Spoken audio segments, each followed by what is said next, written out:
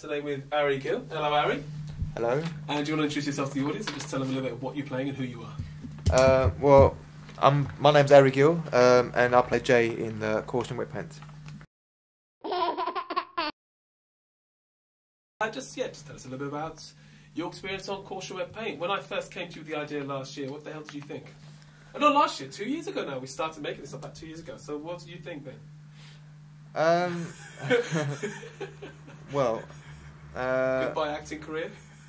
well, no, I was uh, I was kind of looking forward to it to some degree because I thought it could be interesting and the whole scenario of the, the two characters J and K. But I to be honest, uh, I wasn't really sure where it was going to go.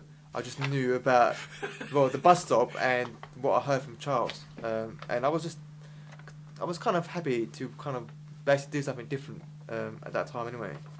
Um, and now, how do you feel two years later playing Jay? Uh, So- It is. I'm. Yeah. I mean, I I can say at the moment that I was kind of cynical about it as we were going, uh, because I wasn't sure where it was going to end up. But and I'm not admitted this to Charles. I'm saying this to the camera.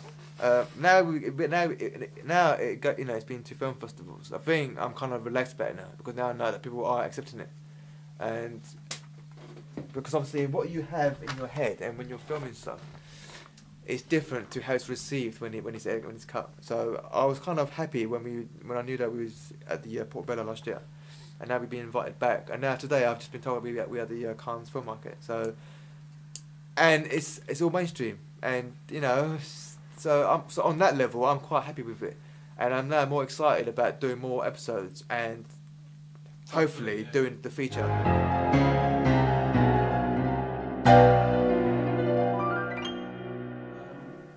From a creative point of view, it is actually weird. Wacky. You've got quite a tough job because you are actually the, the straight. The, you're you're basically the straight board to Cool Dip's uh, character K's and wildness uh, as a character. That's the cat point of being Jay. Who's but how do you make Jay? How are you Jay itself? Um, maybe I don't know. Maybe parts of me is Jay. Um, not like how he is in in the story. I mean, he's kind of a bit sort of, you know, cynical and quite aggressive and not in a in a rude way. Well, he's actually he's quite rude. Look, man, I have a job interview and I'm kind of nervous. So please, back off. Um, but I think it's just mostly just maybe just you know trusting the director and to see what he wants. That's mostly what it is. But when I come down, I do have to take a step back and listen to the director's vision.